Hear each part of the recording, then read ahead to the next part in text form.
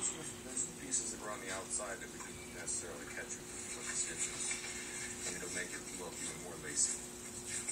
Yeah, we'll wash it up real good when you get done. So then we just put the, turn the bowl over. You can see where the middle is right here? Just put that right over the top of there. It looks kind of sloppy right now, but what you can do is kind of pinch the edges like this. And that makes it, call that fluting the edges. And I've used a couple different things to, to tie this off. Um, this is just of like